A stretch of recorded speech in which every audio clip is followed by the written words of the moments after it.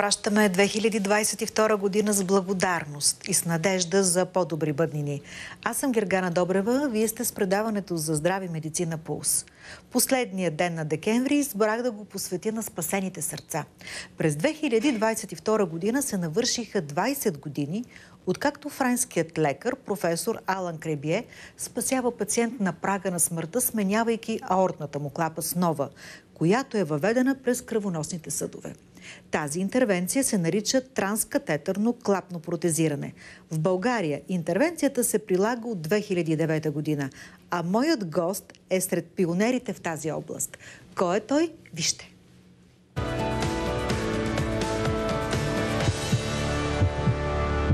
Професор Диана Трендафилова е един от утвърдените специалисти в областта на инвазивната кардиология. Тя е началник на клиника по кардиология в болница професор Александър Чирков. Била е два мандата председател на Българското дружество по интервенционална кардиология, член е на експертният съвет по кардиология към Министерство на здравеопазването и Националната здравноосигурителна каса. Специализирала е в Белгия, Италия, Франция и Германия. Има богат опит в интервенционалното лечение на коронарна период периферна и аортна патология. Професор Диана Трендафилова е един от пионерите във въвеждането и утвърждаването на транскатетърното клапно протезиране в България. Тя е водещ и обучаващ експерт в национален мащаб. Днес е гост на Пулс.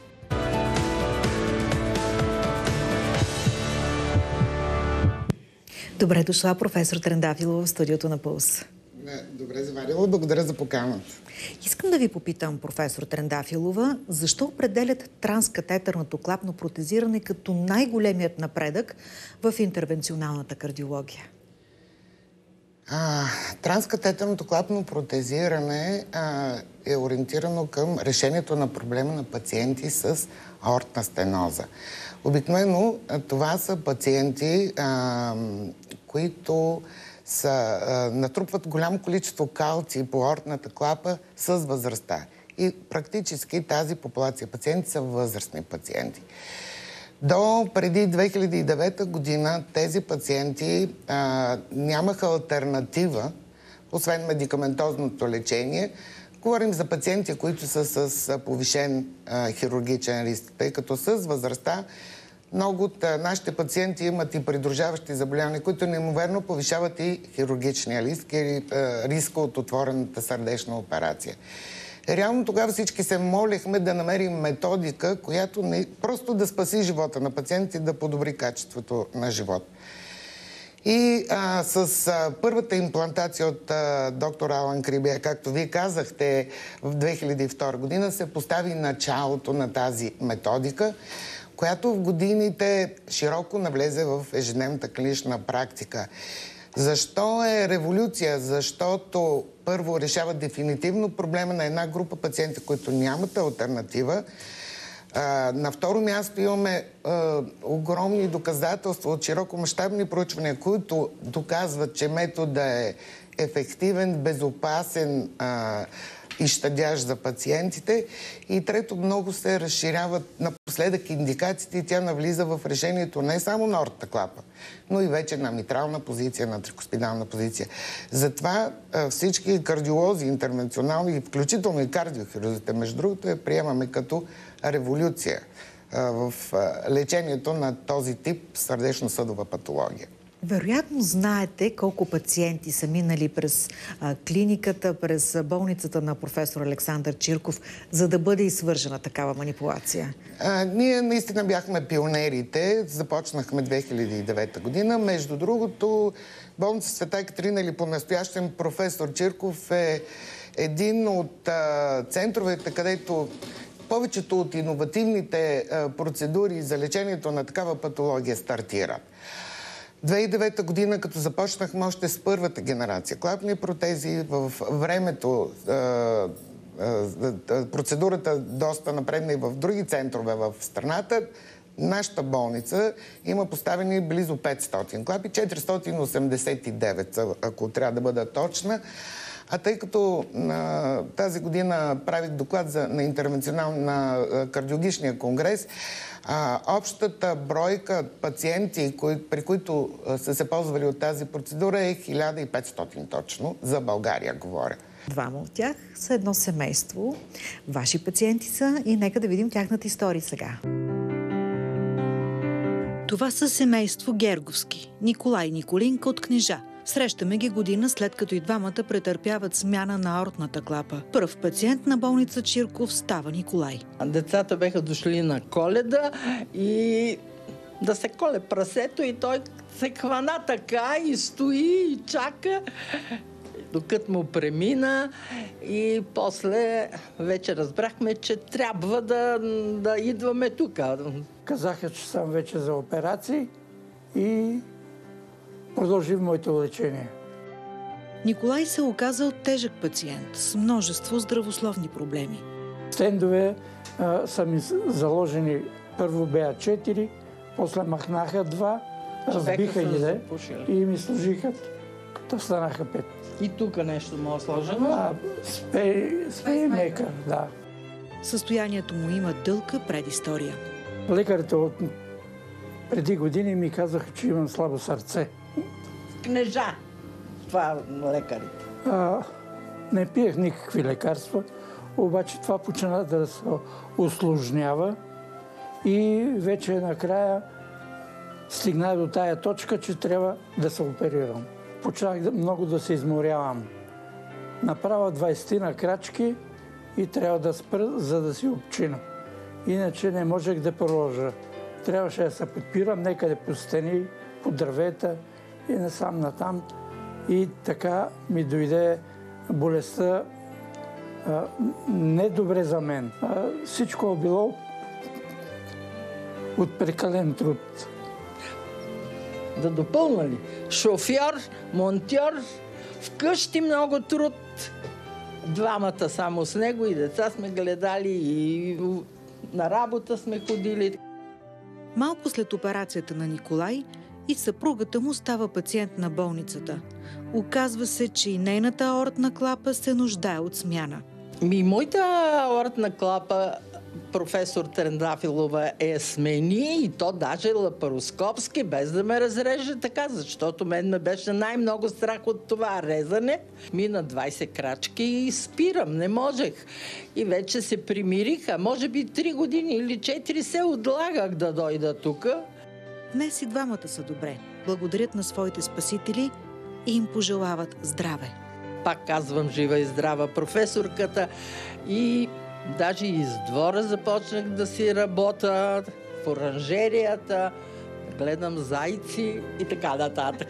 Сега нямам никакви проблеми. Абсолютно никакви. Една година как съм оперирана, нямам никакви проблеми. Е, някой път дигна малко кръвно, ама аз мисля, че от егенето и от Николай някой път ме ядосва и то так, кръвното се дигне. Иначе абсолютно никакви оплаквания да са живи и здрави, да посрещат болните. Защото много станахме болни.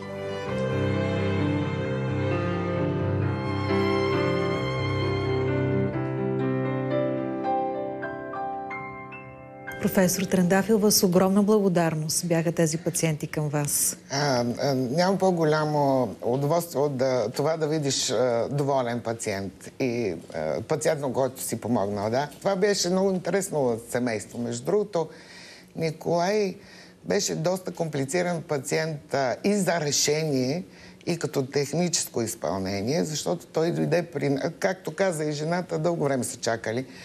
Той дойде при нас с, а, в остро състояние с заплашващ инфаркт. А, сам, самата оценка дали пациента е подходящ за процедурата подлежи на едно голямо обсъждане в мултидисциплинарен екип.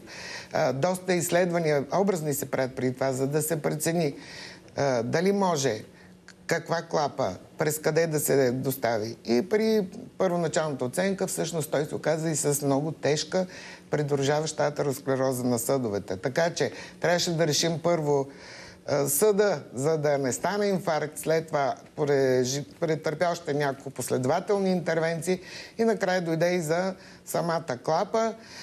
А, освен това, толкова много калци се беше натрупал по неговата орта, че ставаше само за един вид а, клапна протеза, която стана чудесно и както виждате, човека е добре.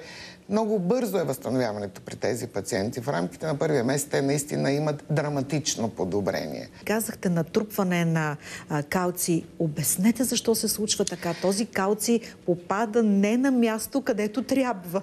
Ами, да ви кажа, няма дефинитивна причина за а, точно за калциевата обмяна и точно на ортоклапа и света още не знае защо точно. Ние, лекарите, знаем някои заболявания, които предразполагат. Господин Герговски каза, че отлагал идването. Вероятно, той имал някакви симптоми, на които не е обърнал внимание. Ще ви помоля сега да кажете на нашите зрители, за да засилим вниманието им да отидат на профилактичен преглед, ако се припознаят в някои от симптомите.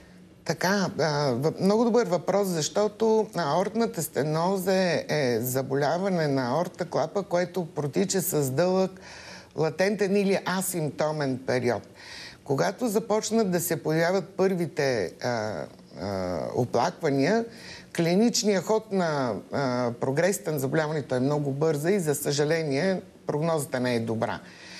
А, практически първите си... Ние трябва да обръщаме внимание, на, особено силно внимание, когато се появят първите симптоми. Най-често това са прималявания, припадания. Това е характерно. Така наречената триада на Вирхов, ритъмно-проводна патология или при, острата мозъчна хипоперфузия, която налага припадане на пациента, което причинява всъщност.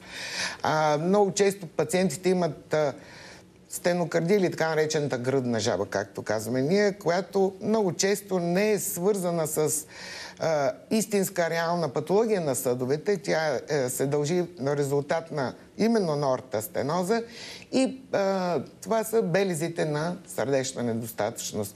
Тоест пациентите започват да се уморяват по-лесно, да имат задух при обичайните физически усилия и вече тези неща прогресират. Колкото повече се бавят във времето, толкова повече компенсаторните механизми на организма се изчерпват, толкова повече процедурите, каквито и да са били те, стават по-рискови и толкова по-малък е ефекта след като свършим работа.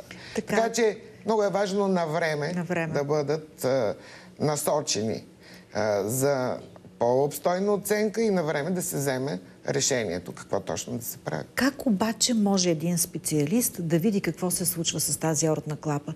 Кои са онези изследвания, които могат да поставят диагнозата? Всъщност 98% бих казала, да не кажа 100, е, а, освен с физикалния преглед, ехокардиографията поставя дефинитивната диагноза, че имаме проблем с аортната клапа. Сега обаче да обясните как се прави тази манипулация? Транскатетърно клапно протезиране.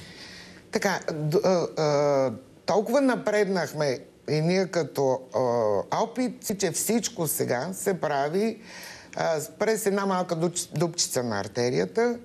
Пациента е с леко се приспива леко, избягва се общата упойка, освен ако е в критично състояние пациента, разбира се, винаги в медицината има ако леко приспан пациента през артерията на крака, което е всъщност етаблирания подход като най-добър. самата протеза се качва до аортната, до мястото, където трябва да се имплантира. Тук съм донесла едно макетче, само че това е с тези клапички, които се раздуват с балон. Позиционира се клапата на мястото на увредената орта клапа и в, при едните клапни системи се раздува системата с балонче, както е в случая, или в другите клапни системи тя постепенно се отваря и застава на място, където трябва да върши работа на нормална ортна клапа. Пациента на другия ден става, се раздвижва и вече на втория-третия ден съвсем спокойно, ако нямаме такава клинична пътека, може да го пуснем вкъщи, да ви кажа. Да, това е страхотна новина. Много бързо Влизате буквално в сърцето, спасявате увреденото място, слагайки тази клапа. И веднага един пациент ще се запита, а колко години има живот една такава клапа? Ние все още имаме пациент, който е жив от 2009 година, като ви казвам, че тогава пациентите бяха над 75 години. Той е 93-4 мисля, че беше от Видин. Скоро го чувахме. без никакъв проблем е в функцията на ортата клапа. Така че от нашата популация пациенти, които сме имплантирали, нямаме до момента пациент с а, в, а, влушена функция на такъв а, тип клапна протеза. Което все пак а, опит около 500 пациента не бива да се генерализира, да, но, но това е нашия опит. Да, но така е показателен. Е. Професор Трендракилов, вървим към край на нашия разговор. И въпреки това, че иновациите в медицината са познати у нас, България продължава да е едно, на едно от първите места по сърдечно съдова смърт. Защо така се случва, професоре? Ами, защо така се случва? Значи много неща могат да се направят, а, за да... Ние а, лекуваме последствията на нещо, което ние специално българите, може би западняците по-са ориентирани към профилактиката. При нас доста куца профилактиката, първо. А, а, второ, а, българина отива на лекар, когато няма на къде вече. Той не обръща внимание, той е здрав. А, нали?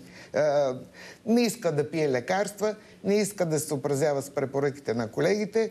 Имаме чудесни лекари, които дават чудесни препоръки, но просто ние трябва българите като самосъзнание и здравна просвета да обърнем повече внимание на това.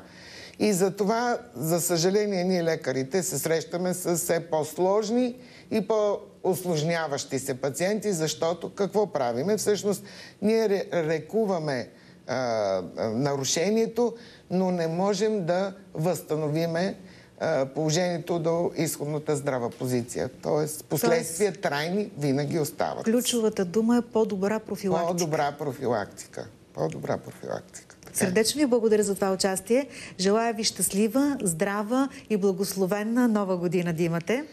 А ние прекъсваме за кратко, но веднага след рекламите отиваме в неврохирургията на болница доктор Стефан Черкезова Велико Търново. Защо? Ще научите, ако останете с нас.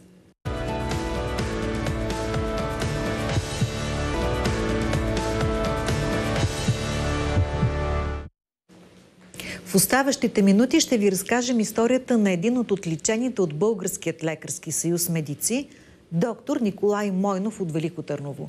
Той е лекар на 2022 година в категория дългогодишна дейност. Потомствен неврохирург, полиглот и артист по душа. С него ни среща Мартин Георгиев. Доктор Николай Мойнов е син на известния неврохирург, доктор Минчо Мойнов, основател на неврохирургията в Велико Търново. Като малък, голяма част от времето си изкарвах при него за болниците, така че винаги съм искал да работя неврохирургия. Николай Мойнов е баща на младия лекар, доктор Мартин Мойнов, който по-настоящем трупа опит в Варненската университетска болница Света Марина, също като неврохирург. На мен ми е приятно. Добре се развива в Варна. Така че, но къде той ще работи, това си е негово решение. За миналото, настоящето и бъдещето доктор Мойнов говори с нежелание. Не е хубаво човек да се хвали. Тъй като ние винаги сме на ръба на, на ножа. И все пак, ето историята на доктор Мойнов. Той завършва френската гимназия във Варна, след това кандидатства медицина в Племен, където е бил прият. В същото време обявяват място за Карловския университет в Прага. Николай Мойнов подава документите си и е прият в реномираното висше учебно заведение. След дипломирането си се връща в България при своя баща в Велико Търново. Велико Търново е четвъртата институция неврохирургична в България, след София, Плодив, Варна. Така че 4 години работех коренна хирургия тук вземах специалност и след това, след изпит, преминах към неврохирургията. Това беше 88 година. И в университетски болници съм работил, и в е, окръжни болници съм работил, така че условия, специално при мен за работа, имаше много добри. Примерно, да кажем, когато започнах, Първата операция правеше моя баща, аз му асистирам. Втората правя аз, той ми асистира. На третата аз оперирах, той стоеше в операционната. На четвъртата вече аз оперирах, той изобщо не влизаше в операционната, но бях достатъчно умен, когато приключи операцията, да го извикам да провери дали съм направил всичко като хората. Колко операции имате? Броите ли ги? О, не. Много. Предполагам, че са над 5000. Доктор Мойнов експериментира със себе си, като приема покана да замине за Гана, Западна Африка, където прекарва 15 години като неврохирург в Държавната университетска болница в столицата Акра. Кой ви покани в Гана? Никой отидах сам. Ей така. Да, е така. Нивото на тези болници е високо. Отидах в африканска страна, където се явих на изпит, за да си приравня дипломата и започнах работа. Но той има и предимства, тъй като там съм работил с е, много известни неврохирурзи от цял свят. Имах тая възможност, така че има и положителни страни. Великотърмският неврохирург се връща в България, но после заминава за Палестина. За кратко. Сега, вече 7 години е в Велико Търново с една цел. Да, моята цел е да укрепя отделението. Тоест, първо съм се съсредоточил от е, закупуване на различни апарати, които ми трябват за операционната. Това е първият момент. Вече два от апаратите са тук. И продължаваме. Направил съм програма за 5 години. Тази програма е включена и подготовката на млади кадри. Имам достатъчно възможности да ги изпратя на различни места. Дори в България извън България, ако искат нещо по-конкретно да специализират. Достатъчно приятели имам по цял свят. Примерно се интересува от туморна патология, ще го изпратя на едно място. Ако се интересува от спинална хирургия, би го пратил на друго място. Еми, то си е изкуство. То си е изкуство. Когато знаеш какво трябва да правиш, просто го правиш, съобразявайки се с анатомията, която намираш по време на операцията. Както започна разговорът ни с доктор Мойнов, така и завършва. Без желание за навлизане в личното пространство, а само в професионалното. Къде се виждате вие след 10 години? Пенсионер. След 10 години. Имал съм тая възможност. Да работя с част от хората, които по това време пишеха учебници. А вие ще почнете ли да пишете учебници? О, не, аз не съм писател, аз съм неврохирург.